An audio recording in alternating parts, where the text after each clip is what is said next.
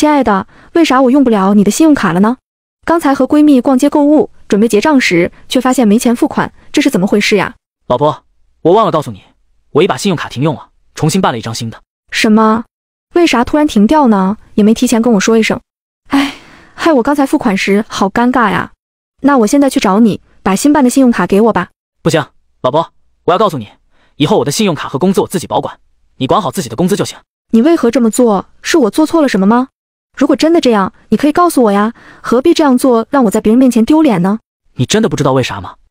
那我提醒你，两个礼拜前我出差时，家里发生的事你忘了吧？你是指婆婆拖地不小心扭到脚的事吗？你不会怪我当时没带婆婆去医院检查吧？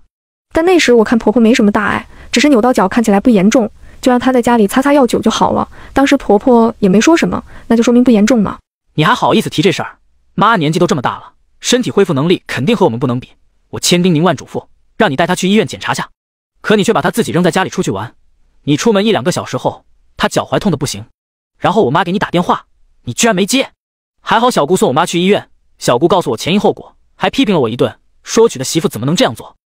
你知道我当时的心情吗？这事儿也不能全怪我，我当时手机没电，无法接听婆婆的电话。现在婆婆平安无事，那何必纠结于是否送她去医院呢？关键是这件事和暂停银行卡有什么直接关系呢？如果不是这件事，我可能还没发现卡里为何只剩下一千块。当时是小姑先垫付了三千块的费用，所以我想把钱转给她。然而当我输入密码时，竟然显示余额不足，我真的想问问你，我的工资是一万两千，你的工资还有三千，我每个月留两千生活费，剩下的一万都存到卡里，你能解释一下为什么卡里只剩下一千了？这个问题还需要解释吗？我们家的开销很大，方方面面都需要花钱，所以很难节省出来啊。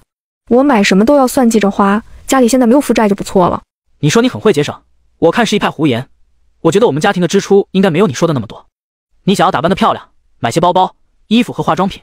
我没有意见，但依我看，你把家里的大部分钱都补贴给了你娘家。我这样消费有什么不对吗？我打扮得体，让你带我出去的时候更有面子，给我父母一些钱，孝敬他们，这也是应该的。这些都是为了让你在亲朋好友面前有面子。我并没有做错什么吧？我生气的是，你孝敬你父母的次数也太多了吧？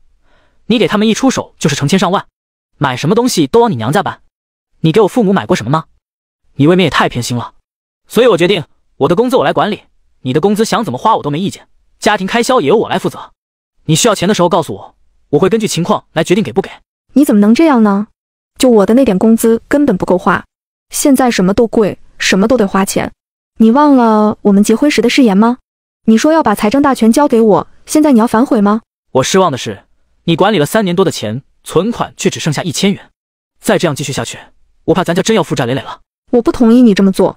你必须继续把财政大权交给我，我保证，除了必要的开销，我会好好存钱的。我的工资也不够花，我也要孝敬我父母，这样的生活我无法接受。如果你不给我管理，我会觉得你不爱我，我就要考虑是否要继续这段婚姻。我告诉你，如果你再这样无理取闹，那我只能顺从你的意愿。如果你真的想离婚，那我就答应你。好了，我不多说了，你自己好好想想，权衡一下利弊。然而，在经历了无数次的争吵后，这对夫妇最终还是选择了离婚。